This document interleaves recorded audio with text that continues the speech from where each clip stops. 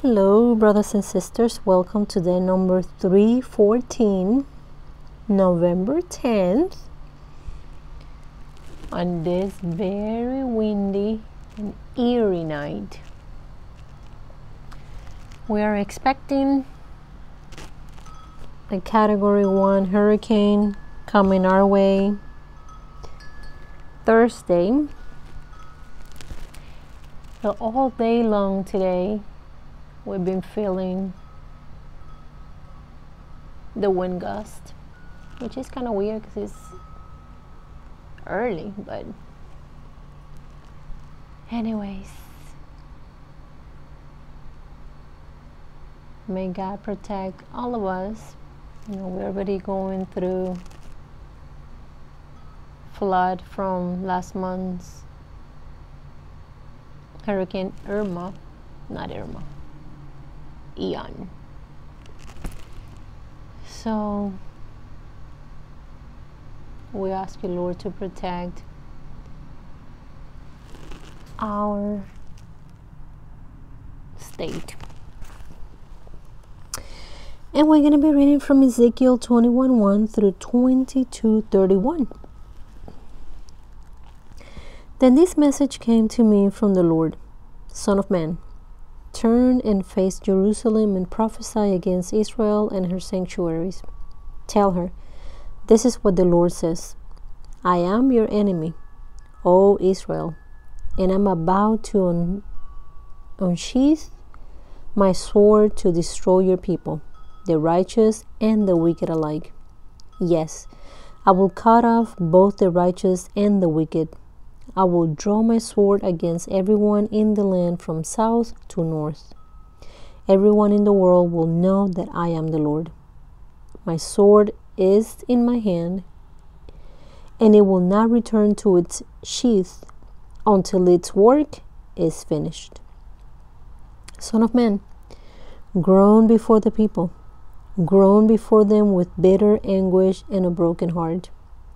When they ask why you are groaning, tell them, I groan because of the terrifying news I have heard. When it comes true, the boldest heart will melt with fear, all strength will disappear. Every spirit will faint, strong knees will become as weak as water. And the sovereign Lord says, It is coming, it's on its way. Then the Lord said to me, Son of man, give the people this message from the Lord. A sword, a sword is being sharpened and polished. It is sharpened for terrible slaughter and polished to flash like lightning. Now will you laugh? Those far stronger than you have fallen beneath its power. Yes, the sword is now being sharpened and polished it is being prepared for the executor.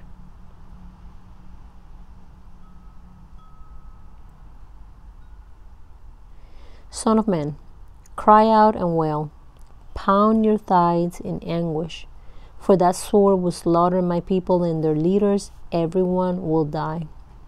It will put them all to the, to the test. What chance do they have? says the sovereign Lord. Son of man, prophesy to them and clap your hands. Then take the sword and brandish, brandish it twice, even three times, to symbolize the great massacre.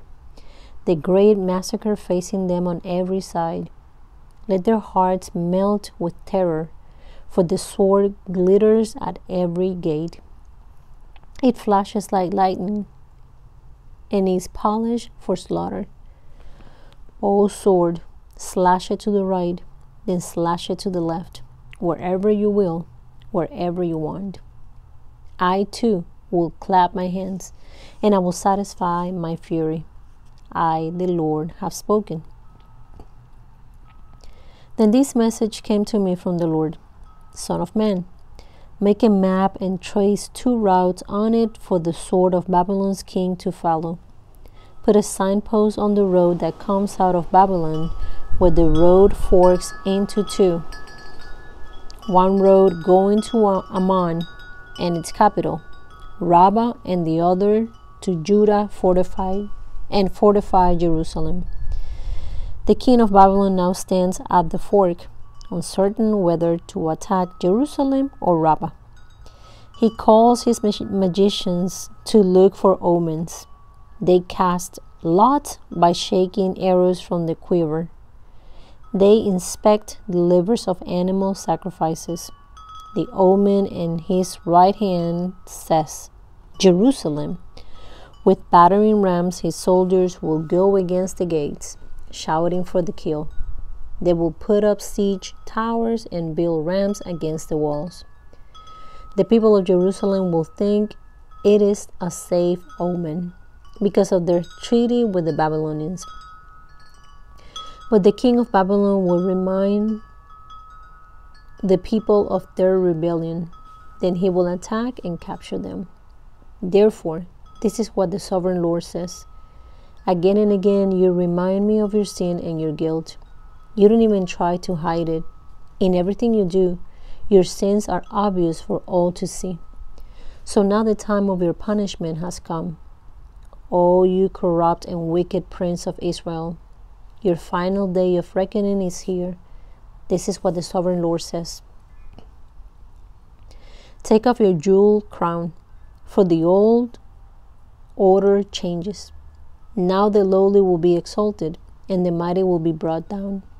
Destruction, destruction.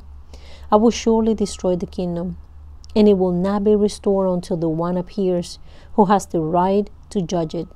Then I will hand it over to him. And now, Son of Man, prophesy concerning the Ammonites and their mockery. Give them this message from the sovereign Lord A sword, a sword is drawn for your slaughter. It is polished to destroy, flashing like lightning. Your prophets have given false visions, and your fortune tellers have told lies. The sword will fall on the necks of the wicked, for whom the day of final reckoning has come. Now return the sword to its sheath, for in your own country, the land of your birth, I will pass judgment upon you. I will pour out my fury on you and blow on you with the fire of my anger.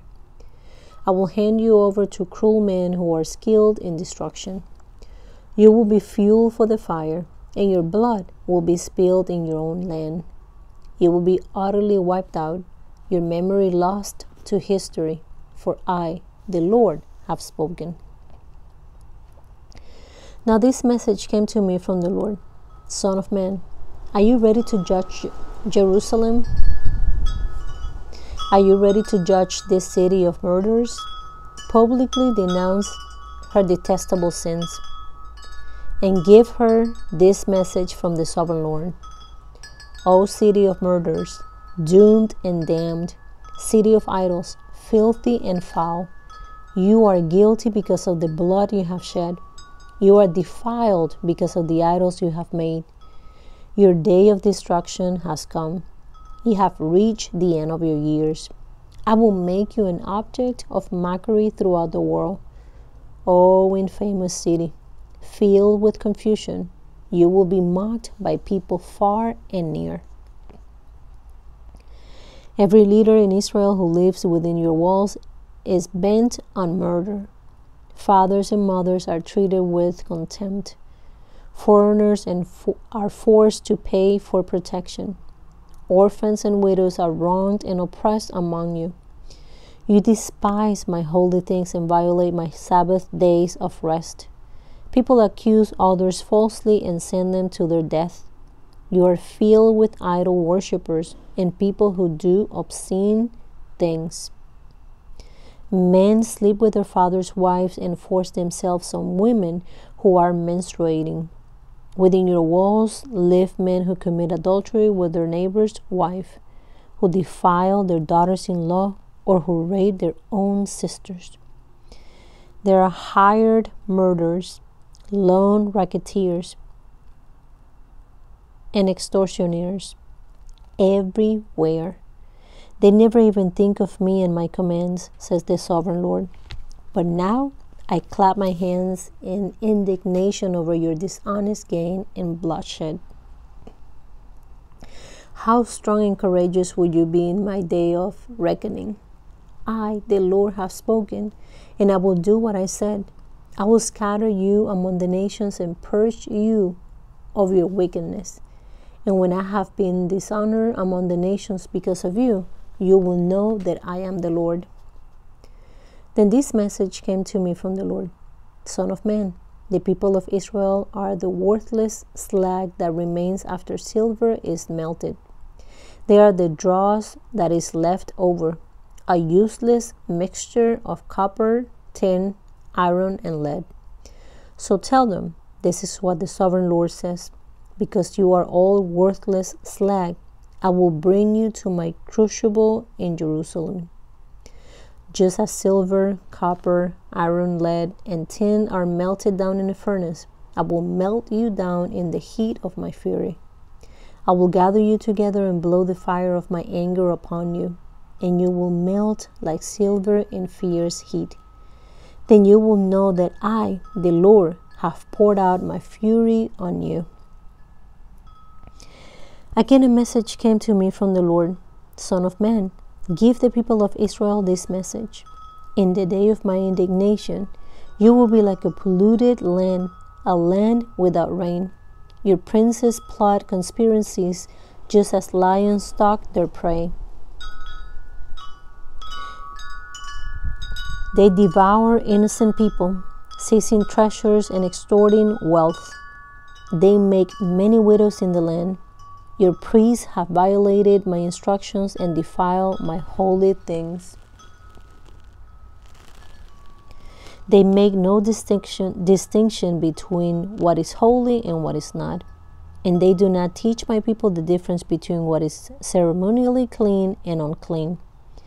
They disregard my Sabbath days so that I am dishonored among them.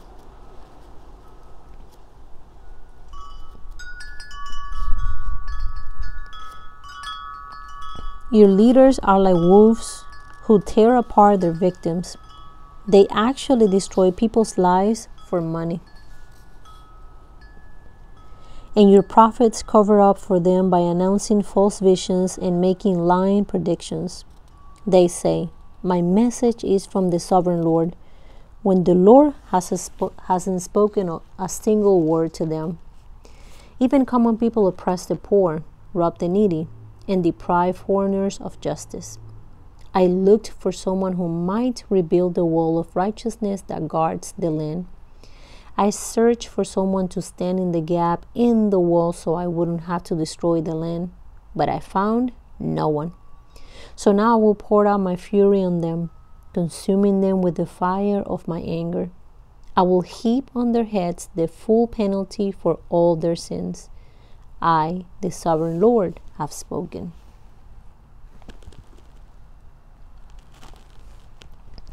Hebrews 10 1 through 17.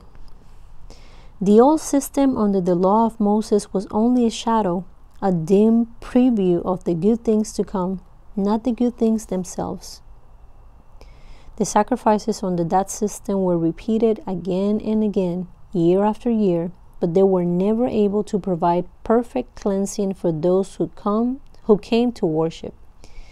If they could have provided perfect cleansing, the sacrifices would have stopped, for the worshippers would have been purified once for all time, and their feelings of guilt would have disappeared. But instead, those sacrifices actually reminded them of their sins year after year, for it is not possible for the blood of bulls and goats to take away sins. That is why, when Christ came into the world, he said to God, You did not want animal sacrifices or sin offerings, but you have given me a body to offer. You are not pleased with burnt offerings or other offerings for sin. Then I said, Look, I have come to do your will, O God as it is written about me in the scriptures. First, Christ said, You did not want animal sacrifices or sin offerings or burnt offerings or other offerings for sin, nor were you pleased with them. though they are required by the law of Moses. Then he said, Look, I have come to do your will. He cancels the first covenant in order to put the second into effect. For God's will was for us to be made holy by the sacrifice of the body of Jesus Christ once for all time. Under the old covenant, the priest stands and ministers before the altar day after day, offering the same sacrifices again and again, which can never take away sins. But our high priest offered himself to God as a single sacrifice for sins, good for all time. Then he sat down in the place of honor at God's right hand. There he waits until his enemies are humble and made a footstool under his feet. For by what for by that one offering he forever made perfect those who are being made holy. And the Holy Spirit also testifies that this is so, for he says, This is the new covenant I will make with my people on that day, says the Lord. I will put my laws in their hearts, and I will write them on their minds. Then he says, I will never again remember their sins and lawless deeds.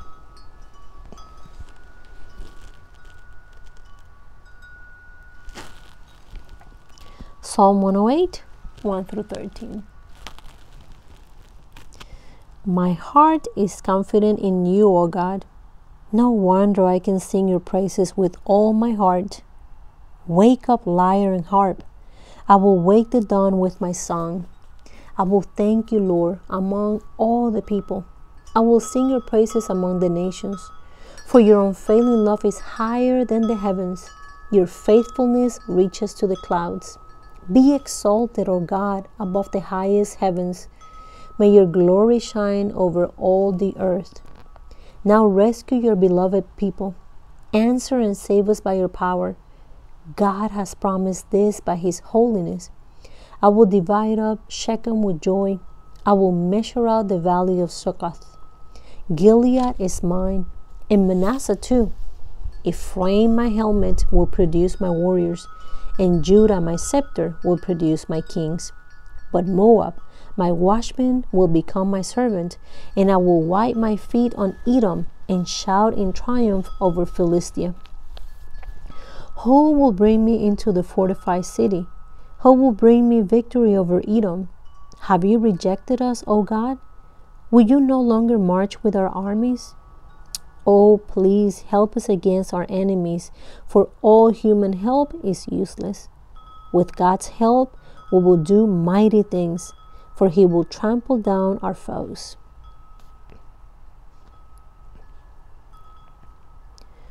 Proverbs 27 12. A prudent person foresees danger and takes precautions. The simpleton goes blindly on and suffers the consequences. yes, thank you, Jesus, for your word. Once again, we pray and declare that we'll be safe during this hurricane. God bless you. I will see you tomorrow.